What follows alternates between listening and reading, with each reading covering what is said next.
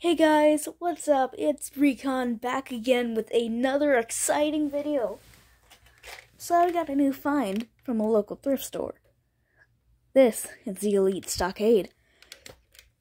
The Elite Stockade RV10 from Nerf. Launched on August 1st, 2012, it's a repaint of the N-Strike Barricade. It comes with a stock that can hold 10 darts and an instruction manual.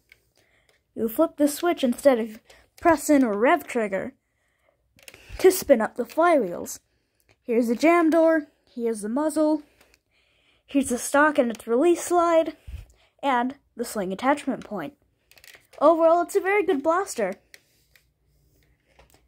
I will, following this, I will, I will shortly up, I will upload a short firing demo which I filmed before this. See you guys in the next video.